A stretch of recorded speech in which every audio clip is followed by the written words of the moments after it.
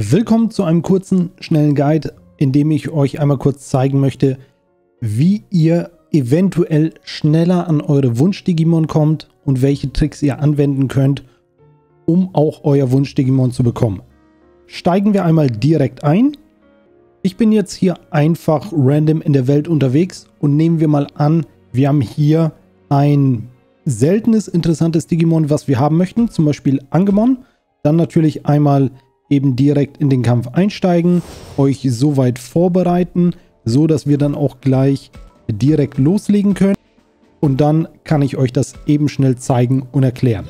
Das ist jetzt keine hundertprozentige Garantie, dass ihr euer Digimon bekommt, aber es erhöht eure Wahrscheinlichkeit enorm und mit etwas Zeit und Geduld ist das nahezu eine hundertprozentige Möglichkeit. Zunächst einmal reden wir mit dem Digimon, das wir fangen möchten.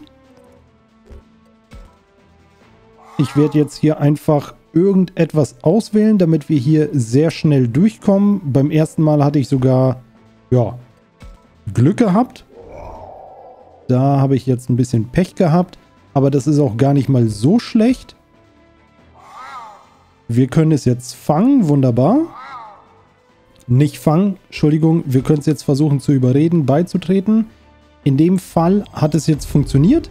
Wenn das jetzt nicht funktioniert hat oder ihr bei eurer Überzeugung nicht dahin gekommen seid, wo ihr hin möchtet, dann einfach ins Menü, wiederholen und der gesamte Kampf startet erneut. Ihr bekommt dieselben Digimon, wir haben dieselbe Ausgangslage wie eben und können dann auch wieder anfangen. Ihr habt gesehen bei mir, ich hatte fast 70% Wahrscheinlichkeit, das Digimon zu fangen.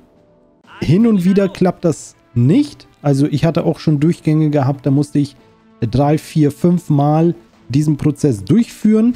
Aber so gehe ich jetzt quasi vor, um meine Wunsch-Digimon zu überzeugen, in mein Team zu joinen.